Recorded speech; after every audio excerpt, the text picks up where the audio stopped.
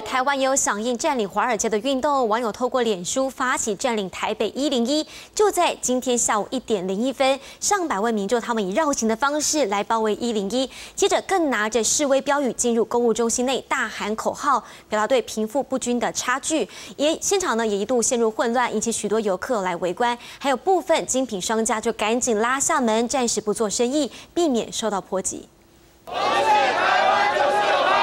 就在下午一点零一分，上百位民众绕行台北一零一，双手比叉，向全球资本主义发出怒吼。示威群众挂着各种标语，表达多元诉求。今天就是要来表达，我们九十九趴的最最底层的员工的薪资根本不够生活上的开销。每个毕业生都在讲，都在烦恼以后我们的工作怎么办，然后还有我们结婚怎么办，我们的钱从哪里来？在外高呼口号还不够，雨势变大后，一行人试图转入一零一购物中心，要持续抗议，却在门口一度发生了激烈推挤。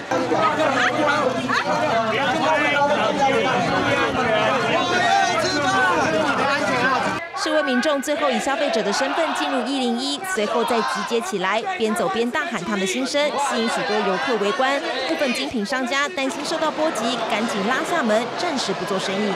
啊，贫富不均呐，那倒还可以接受，但是不是用这种方式吧？如果他们继续就是做这些比较不理性的一些动作的话，会影响到别的客人，就请他们帮我们驱离。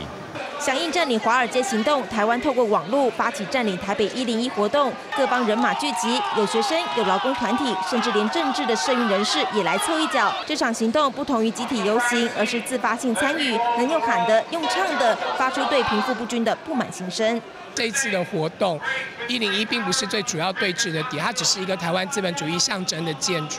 我们最关键的是希望号召所有台湾的人民开始一起关心改革资本主义社会。无法忍受财团把人民当成牟利的工具，要从资产阶级夺回所有政治和经济的权利。民众站出来，发出百分之九十九的抗议力量。有人打算搭帐篷长期抗战，就是要唤起社会的重视。记者张国良台报道。